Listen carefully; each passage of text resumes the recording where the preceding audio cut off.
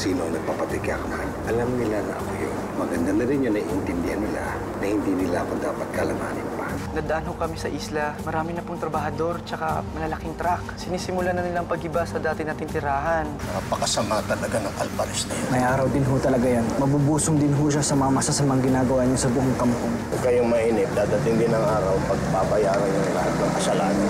Hindi na ako babalik doon. Hindi na ako tatakas. I don't think they need me. He is willing to fix our marriage and travel abroad. Taking a vacation is one thing. Another thing is to completely leave the people behind. Ready kaya si Harold na maiwan sila sa haya? Aagawin nila ni Manisan ang daddy mo unless makaalis kami dito. Dahil kapag nakaalis na kami dito, hindi ko na pababalikin si Harold. Paano kung pagkatapos niya malaman na si Harold nga ang ama niya, ipaglaban niya to? Masasaktan lang si Sahaya, hindi siya mananalo. Hindi ko kayo kayang hindi makita, lalo pa ngayon na alam ko nang kayo ho ang totoo kong uma. It's about time na magkasama-sama tayong tatlo. Ikaw, ako si Manisan. Aalis tayo dito, lalayo tayo. Hindi na nila tayo mahahanap. Ano na naman kayang kalokohan yung naiisip ng si Harold? Naku ma'am, huwag naman sana ha. Pero baka naman nagpunta siya dun sa kabit niya tsaka dun sa anak nila. Malaman ko lang na totoo ang sinasabi mo, Salida. Makakapatay na talaga ako. I went shopping. Actually, namili ako ng thermal. Hindi ba malamig doon sa pupuntahan natin? I even bought you a beer. There's something about Harold na parang hindi okay sa akin. Parang excited siya sa trip namin. Hindi pa rin mawala ang pagdududa ko. Alis po kami. Ilalayo po kami ng uma ko dito. Hindi pa ho alam ni Ina ang tungkol dito, pero bahala na ho basta aalis kami dito. May mga maleta kang dala. Saan ka pupunta? Aalis kayo? Mahal na Tuhan, mga umbo, sana ho dumating siya. Sana ho to pa rin ang uma ko ang pangako niya sa akin. Alam ba ni Ma'am Irene to? Sigurado ako hindi. Aalis kayo, no? Tatakas kayo? Ano bang pakialam ako saan ako pupunta?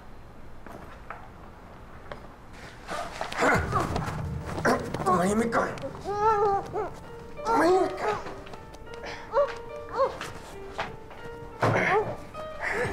Matagal na ako nagtitigil sa'yo. Ang dami mong kasalanan sa anak ko. Ano akala mo? Papayag akong hadlangan mo pagsasama namin? Ha? Nagkakamali ka, Salina. Nagkakamali ka! Huwag ka maingay. Huwag ka maingay! Lori! Kuha niyo akong lubid! Bilisan mo! Ah! Lori!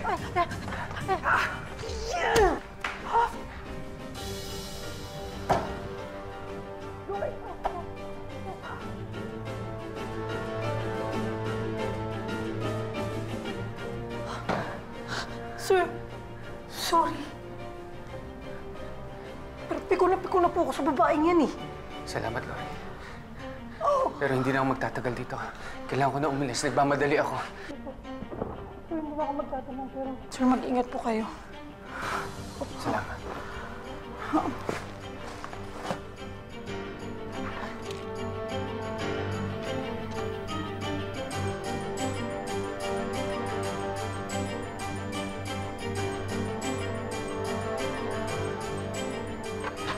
Irene!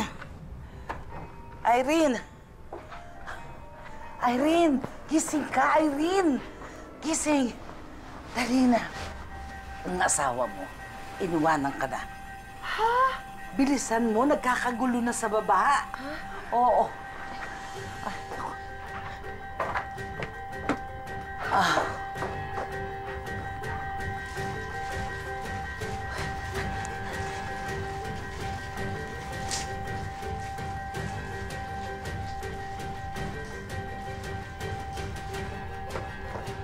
Salida?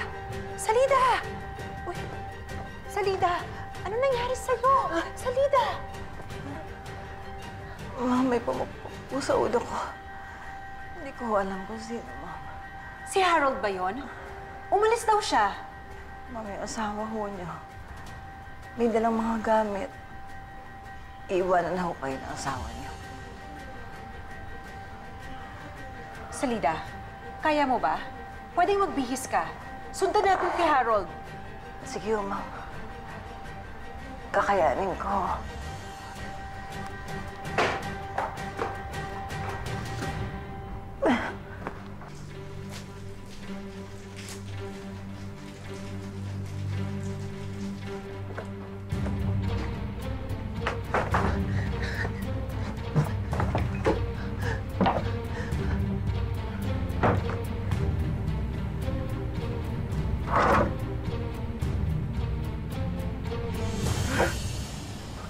Kinamkam na ng husto ni Hubert Alvarez ang ating isla.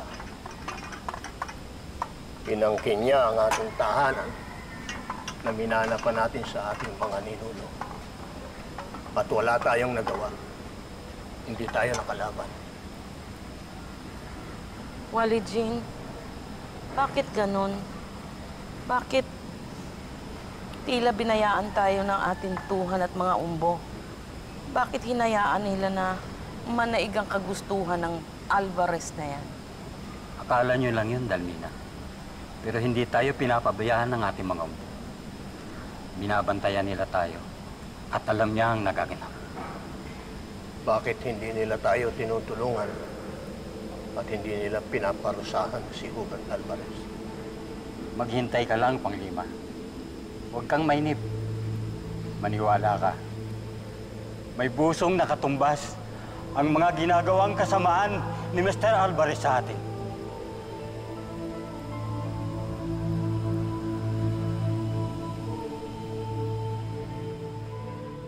Yes. Oo, nagsimula na sila magbina doon sa isla. Eh dapat talaga matapos ang kontrata kay Mr. Tan. Dapat mapirmahan na. Alam mo, malaking kikitain natin dito. Okay. Sige, thank you.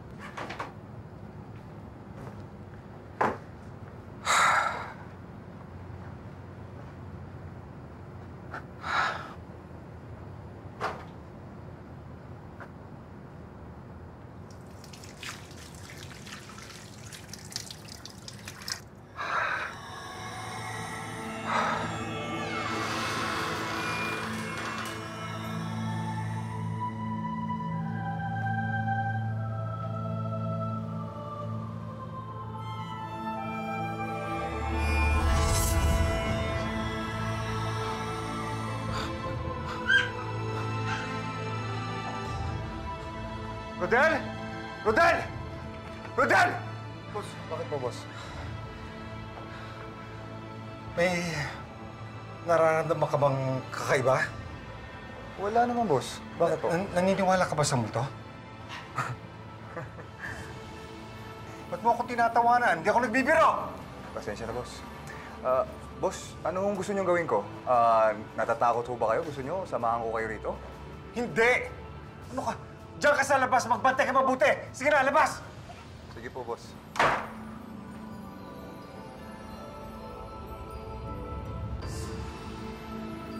Kung sino mang multo ka, tigilan mo na ako, kundi papatayin kita ulit.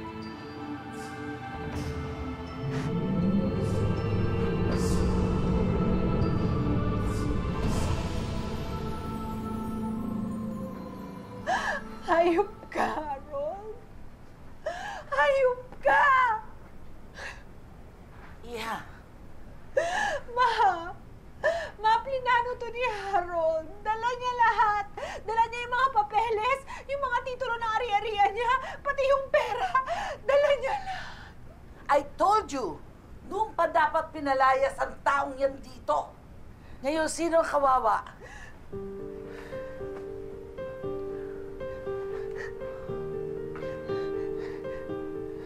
Sino yung tinatawagan mo? Asawa mo? Bakit? Palagay mo, sasagutin ka pa niya?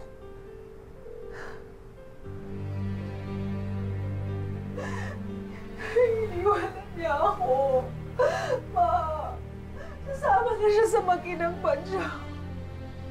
Sabi ko na nga ba eh.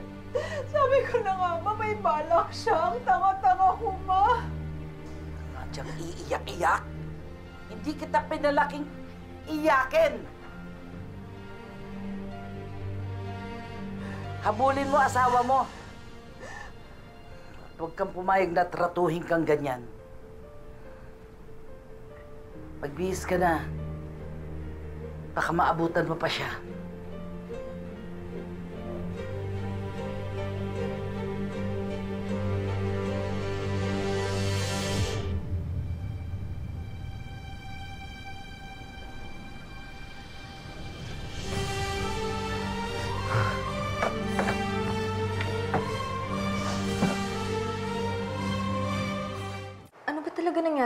Kanina, ate? Oo nga. Sino nga ba talaga ang pumukpok sa akin? Di ba nga, si Sir Harold nga. Talaga, si Sir Harold? Eh, wala naman ako nakitang may dala siyang pamukpok. O baka naman, ibang tao. Mm. Meron kayong pruweba na may ibang nanakit sa inyo? Nakita niyo po ba? Ate? Malamang ko lang kung sino ang gumawa sa akin nun. Patay yung tao na yun sa akin.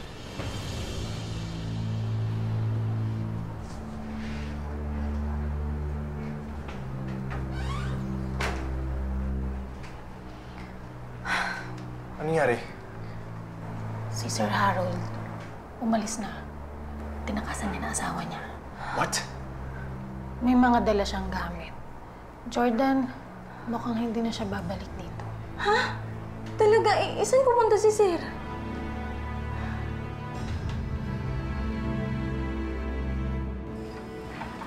Salida, halika na, bilisan mo. Dali. Ma'am, saan po tayo pupunta? Eh, wala na sinasahaya doon sa dati nilang tinitirahan. Eh, ma'am, paano ho natin sila hanapin? Hindi naman natin alam kung saan sila lumipat. Eh, hindi ko alam. Bahala na, basta umalis na tayo rito. Halika na. Dali.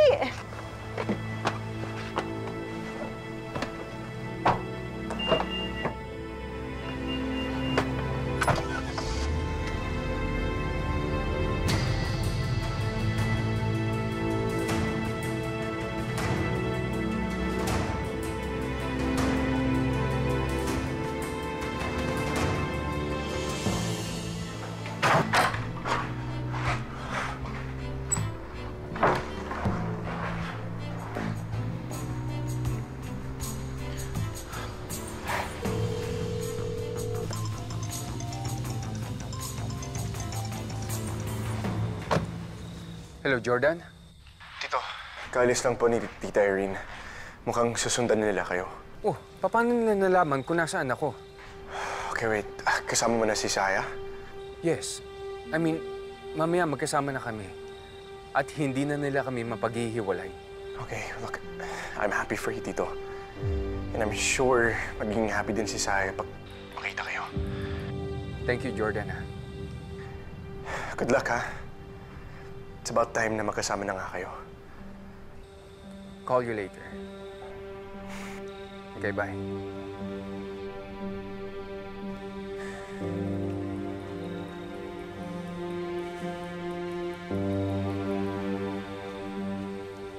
Hindi mo, paalis na ako, pero hindi ko naman kayo maiiwan ng ganito.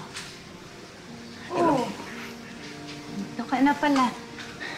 Bakit hindi ka pa nagpapahinga? Sige na. Ina, may maganda ko akong balita sa inyo. May maganda akong mangyayari sa atin. Ha? Anong sinasabi mo? Oh, Saya, tinatanong ka ng nanay mo, huwag kang papitin. Sige na. May hinihintay lang ho ako, Ina.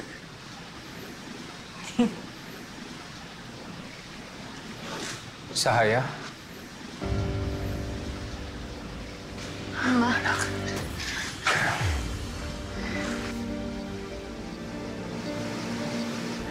mo nalaman kung sa... Sa Haya sinabi mo sa kanya? Sinabi mo? Ina.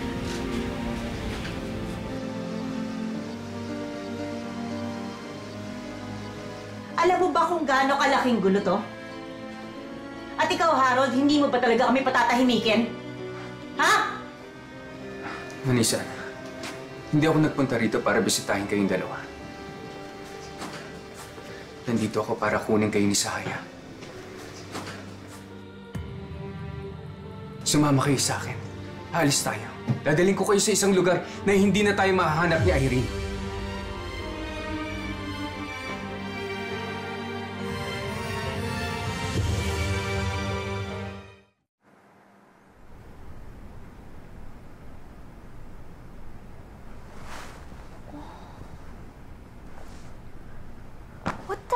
Jordan? What are you doing here? You're so creepy.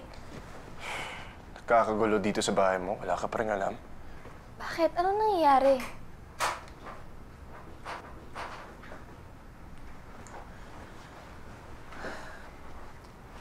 Ah, Lindsay, lumayas na ang daddy mo. Iniwan na kayo ng mami mo. Hindi ko alam kung saan nagpunta si Harold, pero palagay ko, meron na siyang sasamahang ibang pamilya.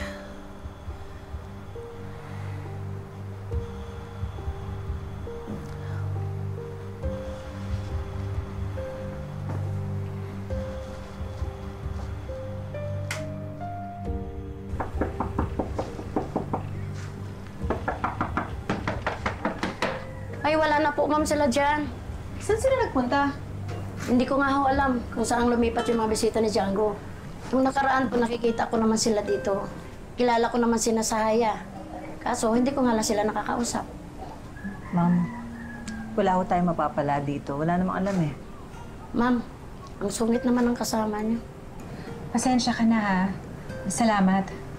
Sige po.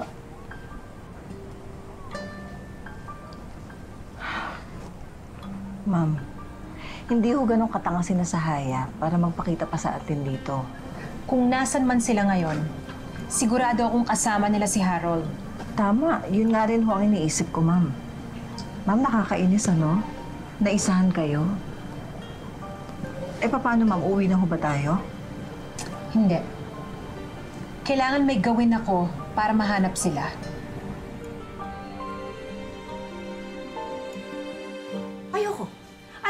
Ano sinasabi mo? Alam mo kung anong pwedeng mangyari kapag ginawa natin yon? Alam mo kung anong pwedeng mangyari kay Sahaya? Hindi kami parang isang gamit lang na basta-basta mong dadaputin kung kailan mo lang gusto. Ina, kung alis ho, uma ko, sasama ho ako. Iiwan mo ko. Iiwan mo ko para sa uma mo na ngayon mo lang nakilala. Ina, hindi ko kayo iiwan. Gusto ko ho kayong kasama, pero gusto ko rin hong kasama ang uma ko. Hindi pwede dahil mali, Sahaya, mali! Ina, kapag ho pinalayo ho natin si Ima sa atin, sa tingin niyo ho ba titigilan ho tayo ng mga kaguluhan? Sa tingin niyo ho ba hindi tayo babalik-balikan ni Mang Irene, ni Sir Hubert o ni Babong Salida? Hindi. Tama sinasabi ni Sahaya. Anissa, sandali. May iba pa ho bang dahilan kaya ayaw ninyo sumama kay Ima?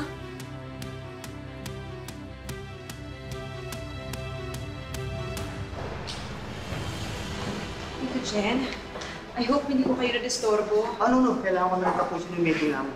Teka, hindi ka pupunta rito kung wala kang kailangan. Ah, sir, talaga hong may kailangan kami. Salida. Actually, Tito Jen, I do need a big favor. May malaki akong problema ang kakailanganin ko ng police assistance. Anong tulong yun, Irene? Kung iniisip mo na ginagawa ko to para magkabalikan tayo, hindi yun ang intensyon ko. Gusto ko lang talagang makasama ang anak natin. Pero hindi naman ibig sabihin nun magkakabalikan tayo or para mag-asawang mangyayari sa atin. Pero ganun pa rin yun! Para sa ibang tao, ganun pa rin yun! Mas mabuti na nakahiwalay kami ng leleng ko sa'yo! Unisan, hindi nga po pwede. Tama sinasabi ni Sahaya. Hindi kayo titigilan ni Irene, ni Salida, ni Huber. At isa pa ano, tinatanggalan mo ba ng karapatan na maging masayang anak natin? Anisan, isipin mo, kapag hindi mo pinayagan si Sahaya na sumama sa akin, malamang ito na huling pagkikita namin ng anak mo. At kapag ikaw naman ang hindi sumama sa amin, ikaw naman mahihiwalay sa anak mo. Hindi na ako man kung ano man ho ang kinakatakot ninyo, saka na lang ho natin harapin yan. Manisan kung ano man iniisip mo. Huwag mo nang isipin si Irene o si Salida. Huwag mong isipin kung anong iisipin ng ibang tao tungkol sa atin. Ang importante ang kaligayahan ni Sahaya. So you make a decision para sa anak mo. Hina. Hina, nakikiusap ko sa'yo. Sumama na tayo kay Uma.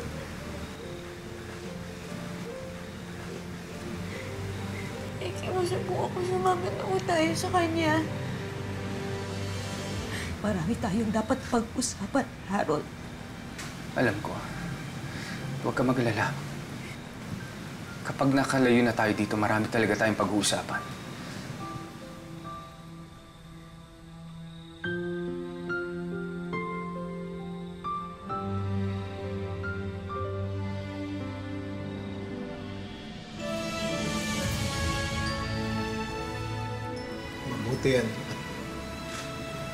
Yung pagdedebate niya. Pagkakasundo-sundo rin kayo.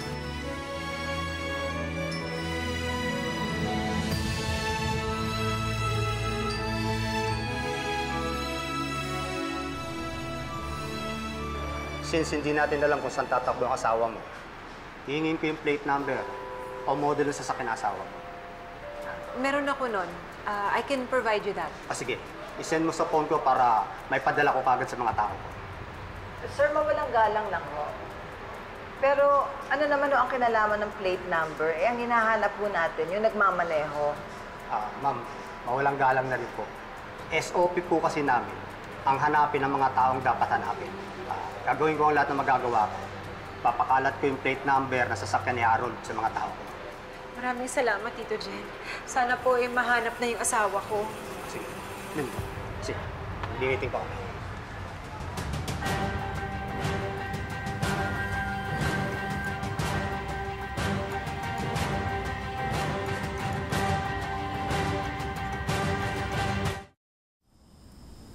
Me the truth, Jordan. Kinasahaya siya pumunta, no? Yeah. Doon nga. Nag-uusap kami kanina and I told him I wanted to see Saya. So I could apologize for the way I acted. And he said, he said hindi ko na makahanap si Sahaya at the place that she was staying before. So he was planning this escape na talaga. Hindi man lang siya nag-goodbye sa akin. I mean, what does Sahaya have that I don't? Well, his DNA, that's one thing for sure. what? You asked. Because you know that Tito loves you naman, di ba? I, I mean, kung hindi lang pinagbabawalan ni Tita Irene na makita niyo ni Tita Harold si Sahaya, then he would have never left. I know. And people should be allowed to chase after their happiness. Alam mo yun? Also, people should respect and honor other people's decisions. Are we still talking about Dad here?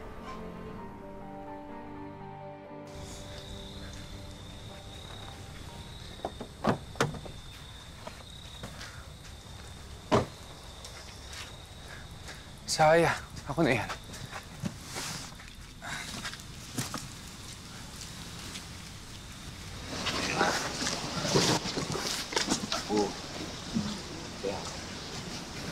Magsukol ho sa lahat-lahat ng tulong. Salamat din.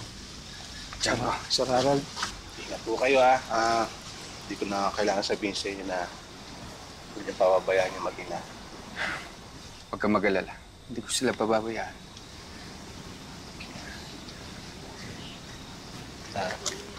Kaka, ikaw din, mag-iingat ka. Huwag mong kalimutan na balitaan ako ha pag nakahalo na kayong tirahan. Huwag po kayo mag-alala dahil kapag ho naging maayos at tahimik ang buhay namin, isa ho kayo sa mga kaalam ko nasaan kami. Halika na. Sorry. Medyo, But you get what I mean, right? Yeah, I guess. I'm happy for Dad. And kay Sahaya. Pero mommy ko pa rin yung nasasaktan nila eh.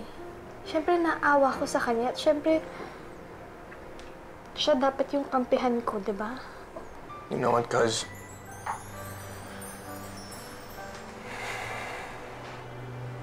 I honestly don't know anymore.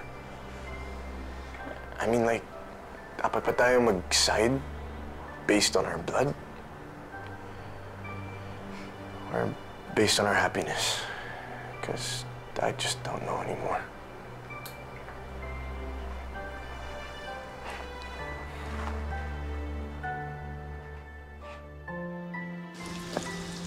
Kaka, kapag ho pala may... Kapag ho may naghanap po sa akin, pakisabi na lang ho na, na masaya na ho ako. At namamimiss ko din siya kahit na hindi ho naging maganda ang paghihiwalay namin. Eh, para kanino ba yung mensahe niya? Alam niyo na ho yun. Magsukong sa lahat ng tulong mo. Salamat. Saya. Halika na. Opo.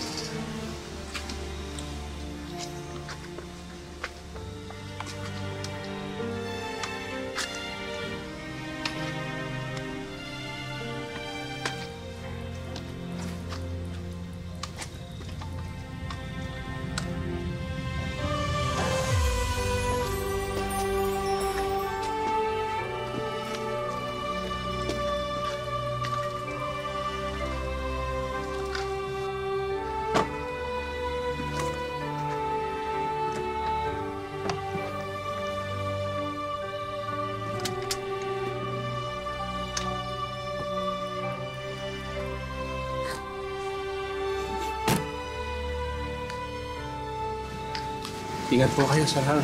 Salamat, Django. Sige po.